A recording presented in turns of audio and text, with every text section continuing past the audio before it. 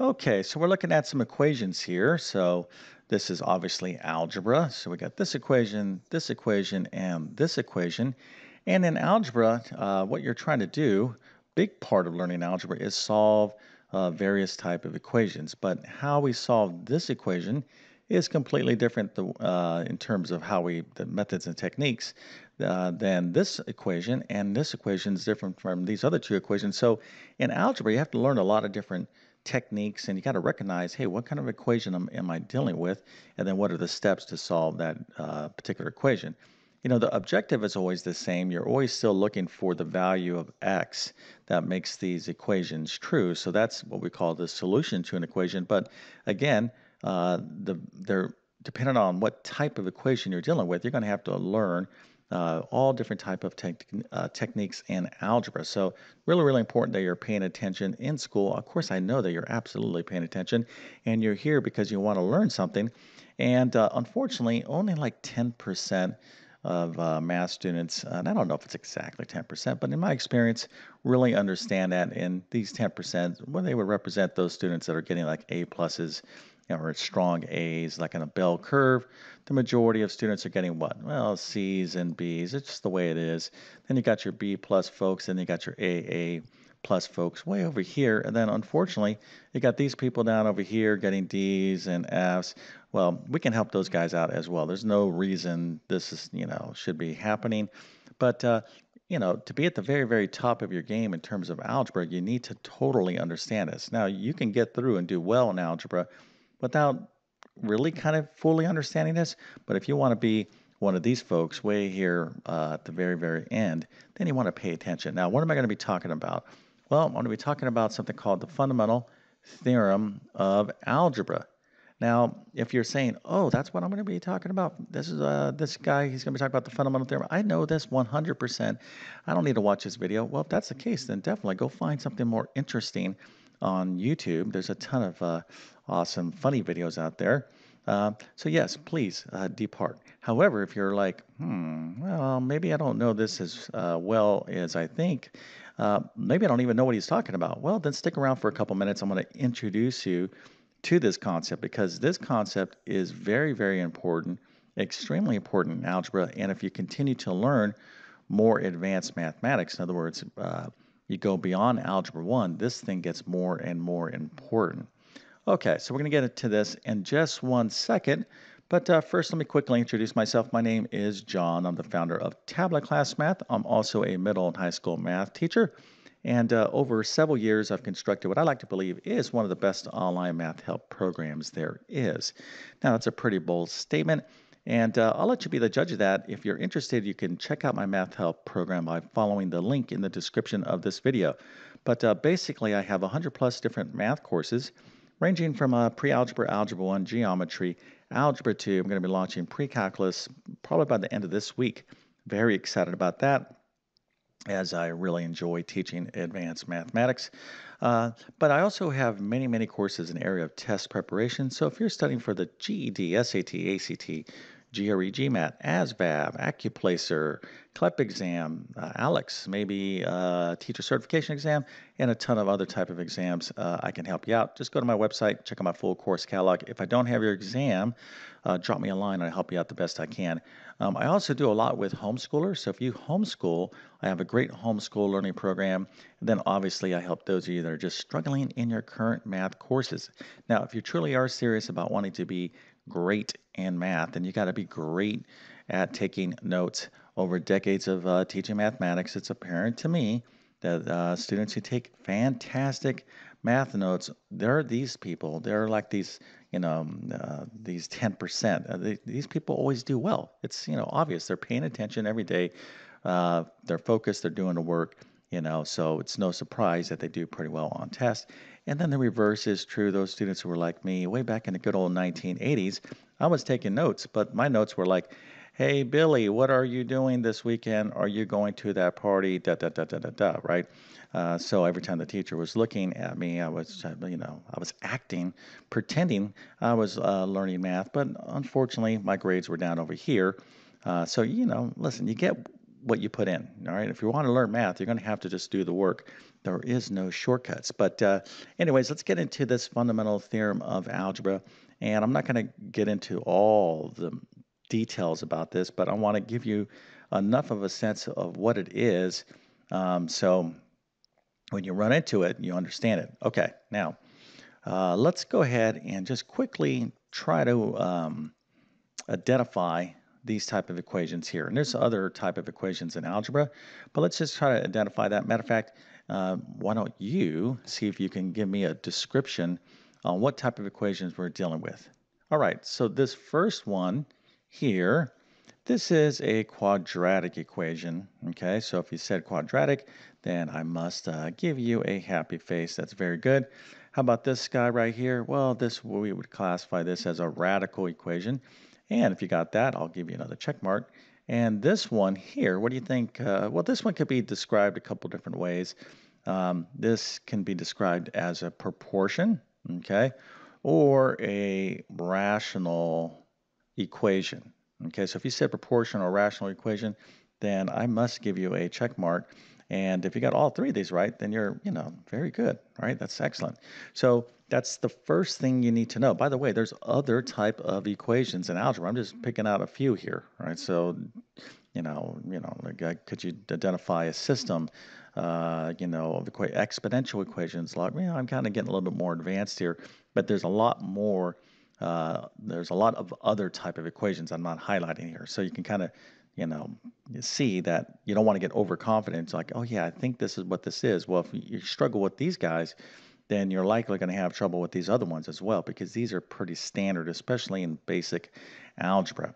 Okay, now we got to take this a step further. So the fundamental theorem of algebra, fundamental theorem of algebra has to do with things that are polynomials, polynomials.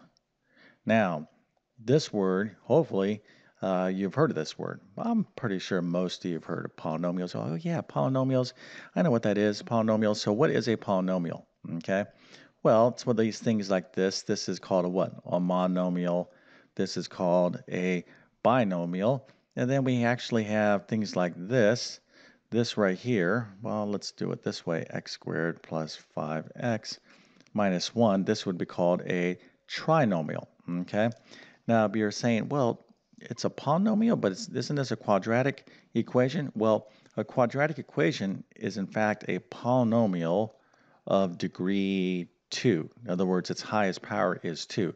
Now, you might be thinking to yourself, well, get to the punchline, Mr. YouTube math teacher. Like, you know, you're doing a lot of talking here, but you're not really telling me anything. Well, you just stick with me for a little bit, uh, just a little bit longer, okay? You'll, you'll see. I'll make my point here in a second. So, Quadratic equations are polynomial equations. Okay, we just give them a little fancy word here, quadratic, but they are polynomial equations degree 2. Matter of fact, this 2x plus 1 equals 9, this is in fact a polynomial equation degree 1. But we uh, describe it as a linear equation, and most of you, you know, probably even forgot that. That's okay. You know, I'm not trying to make you feel too bad. But anyways, the fundamental uh, uh, theorem of algebra has to do specifically and only with polynomials. And I can tell you right now, polynomials are awesome. Uh, and that's why we study them so much in algebra and in even like more advanced mathematics, like in calculus or uh, when you're studying engineering problems in, uh, in the university and college levels. If we can describe things as polynomials, they have so much, so many benefits to them. It's, uh, you know, crazy. Anyways, uh, so here, uh, this is a radical equation. This is a proportion or a rational uh, equation. It's not important that we understand why that is, but what is important is that we really kind of get a good definition of what a polynomial is. Now, this is a polynomial. These guys are not polynomials, okay? But why? Why, why, why? Well, uh, if you really want to, you know, impress uh, your math teacher, you can just like rattle off the definition of a polynomial. So what is a polynomial? Okay, more or less, here's the deal. All right, so here, let's take a variable x. Uh, a polynomial is mostly, uh, I would say, where students confuse um, polynomials the most is they forget about the power. All right, the coefficient, the number in front of this x, it could be x, y, it could be a different combination. This could be any real number. So in other words, it could be like 1.9. I don't really care what you put in front of the x. It could be uh, 2 thirds. It could be negative 4 fifths. It could be a, a, a negative square root of 7. Any number can go in front of the x. Okay, that's not a problem. But what is very, very restrictive is the exponent to that power. Okay, so you can only have 0, 1, 2, basically the whole numbers, okay? Positive integers and 0. So anything other than this is not a polynomial. So you can see I have a 2 here, I have a 1 here, etc. Now I can combine these terms to create larger polynomials, but here's that's this is how this works because let's take a look at this expression square root of x okay what is how do I write this using um, exponents well if you were paying attention in your math class, taking great math notes, which I am sure you were, uh, this is x uh, to, I can write that a little better, x to the 1 half power is the same thing as the square root of x. Now, if you didn't know that, now you know this, okay? So you can um, write these radicals in terms of what we call rational exponents.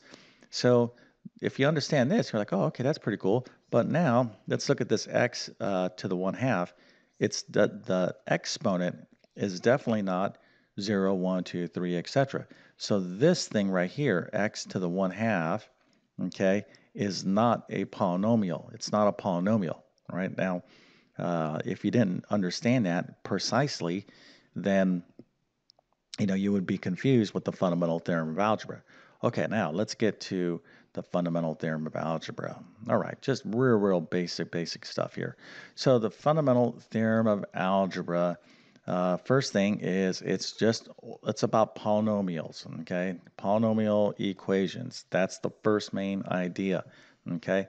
And basically, it states this, okay? The degree, the degree of the polynomial is how many solutions that polynomial is going to have. Now, Let's go back to this problem. 6x squared plus 2x is equal to 1.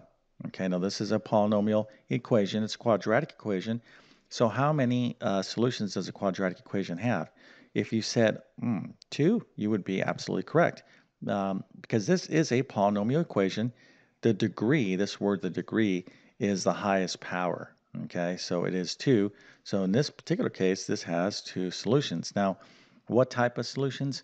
Well, this is a whole nother deal. Okay, they can be real or they can be complex or imaginary uh, number of solutions, or they can be some sort of combination of both of those. All right, now uh, let's take a look at something like this. So that basically, let me just back up here. This is the main, main idea, the fundamental theorem of algebra. Okay, when you have a polynomial, the degree is how many solutions going to have every single time, no matter what. So let's take a look at a problem. Let's say you're in Algebra 2, because this is a, this is a good Algebra 2 problem right here. This, this actually would uh, require a decent amount of work. I'm just making something up here. All right, uh, let's say this equation. So this is a polynomial equation. Let's take a look at all the x's.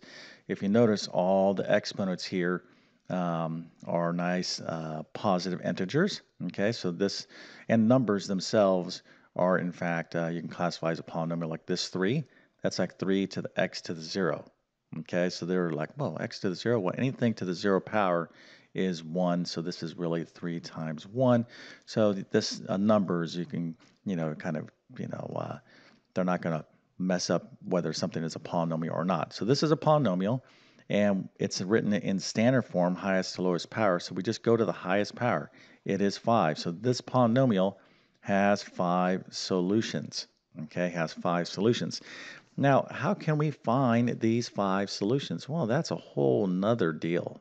Okay, uh, this requires a good amount of math skills, okay, and knowledge. So things that can help us out uh, would be the graph.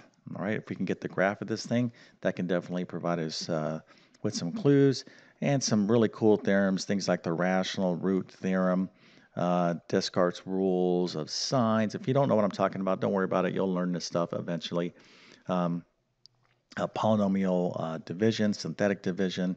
There's all kinds of different techniques and advanced methods to solve this, but the bottom line, this thing is going to have five solutions. We just don't know what type of solutions. But uh, let's take a look at a problem like this. And we go down here. So this gets even uh, crazier. So let's take x to the 6 is equal to 1. You're like, hmm, okay, x to the 6 is equal to 1. Is this a polynomial equation? Yes, it is. At this point, you should be like, yes, this is a polynomial equation. How many solutions does this have? It has six solutions. So if you said that, then you're paying attention. I must give you a happy face with a little mohawk, okay? Now, if you're saying, hmm, what number to the 6 power is equal to 1? Well, 1 times 1 times 1 times 1 times 1 times 1, 1, 2, 3, 4, 5, 6, that is 1. So in this equation, x is equal to a positive 1 is going to be one of the answers. All right? You're like, okay, pretty cool. How about negative 1? Negative 1 times negative 1 times negative 1 times negative 1. All right, let's see here. Did I get them enough for 1, 2, 3, 4, 5, 6? This is going to be positive. This is going to be positive. This is going to be positive. So all these negative ones right here, six negative ones multiplied together, uh, gets back to positive 1. So x equals 1 and x equals negative 1, these are solutions to this equation. They're like pretty cool, okay? But what's the problem? The problem is the fundamental theorem of algebra says there are six solutions. You're like, well, maybe you're like this now. Hmm, I thought I knew this stuff. Where are the other four solutions? Like you're looking around, checking your back pocket, you're looking, you know, it's like you lost your car keys or something like that. Where are the other four solutions? Well, guess what? we're going to have to do some other crazy stuff um, and but uh, use uh, more advanced mathematics. Okay, we're going to have to take the uh, roots of uh, complex numbers, and that requires uh, some trigonometry and some other stuff. So, but we can find these, uh, we can find these other answers. We can find the other one, two, three, four missing roots. It's just going to require some more advanced mathematics because the fundamental theorem of algebra says these guys exist. And this problem right here is actually a very interesting problem um, that I do in my pre-calculus course. If you're interested in seeing the solution to this, uh, you'll want to check out my pre-calculus course in about a week from this video. All right, so let's just kind of leave that here because I can go on and on and on and on and on about the specific techniques to solve polynomial equations, but there are a lot, okay? There are polynomial equations, polynomials in general, not just in uh, algebra, in calculus, and, and um, so many applications in engineering, etc. We love polynomials. When you see polynomials go up to that, you know, particular polynomial, say, wow, you are so cool, uh, because we know so much about polynomials. So when you see a polynomial, you know, just alarm bells should be going off. Like, okay, I know this, this, and this, and this, and this, and uh, you know, still, but nevertheless, we still have to know how to deal with these other type of equations as well. A lot of stuff to learn, right? In algebra, how could you possibly, uh, you know, be learning this without taking great math notes, right? So when I tell you that you got to be doing this, you know, I'm not uh, joking around here. Uh, because if you're watching my videos, listen, I obviously want to teach you some mathematics, but two, I really want to uh, stress the things that are going to really truly get you to absorb and comprehend this stuff and retain it for the long run. Okay, so if you thought this video was helpful in some way, please consider smashing that like button. That's helpful uh, for me. And if you're new to my YouTube channel, please consider uh, subscribing. I've been on YouTube for 10 plus years, have over a thousand uh, plus videos, uh, basic to advanced mathematics, and I'm posting new stuff all the time. Uh, so those videos are there for you. Uh, again, nobody should be failing math these days. Um, if you improve in your note taking, talk to your teacher, get a plan going. Uh, and then, you know, beyond that, find other teachers that you like learning from. Right? If you, you know, find my instruction clear and understandable, that's my whole goal is to try to teach this stuff where you, where you can kind of get it. Well then hey you know that's what I, am making these videos are uh, for you. But my best math help will always be within my math help program. Okay so with that being said i definitely wish you all the best in your mathematics adventures. Thank you for your time and have a great day